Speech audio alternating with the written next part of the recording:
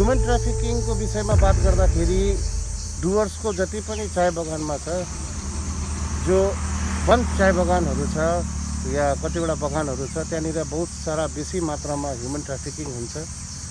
और यो मात्रा तपाईँले हर बगानमा तपाईँले छदेखि दसवटा जस्तो तपाईँको मिसिङ तपाईँले पाउनुहुन्छ कि जाने बेलामा कोही कोही मान्छेले आएर भन्दैन कि हामी यहाँ जाँदैछौँ यो गर्दैछौँ भनेर। तर जब मिसिङ हुन्छ तब थानामा जान्छ। थानामा गएपछि मान्छेलाई याद आउँछ राजु नेपालीको।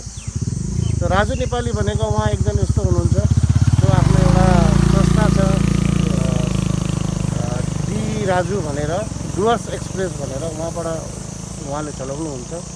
र यसको लागि हामीले फिलहाल एउटा एवेरनेस प्रोग्राम पनि गरेको त्यो स्टुडेन्टको नानीको लागि लिएर। और बहुत राम्रो भयो प्रोग्राम यसको लागि म उहाँलाई धन्यवाद दिन्छु और आनेवाला दिनमा अझै राम्रो काम गरोस् भनेर म उहाँलाई एउटा आश्वासन दिन चाहन्छु।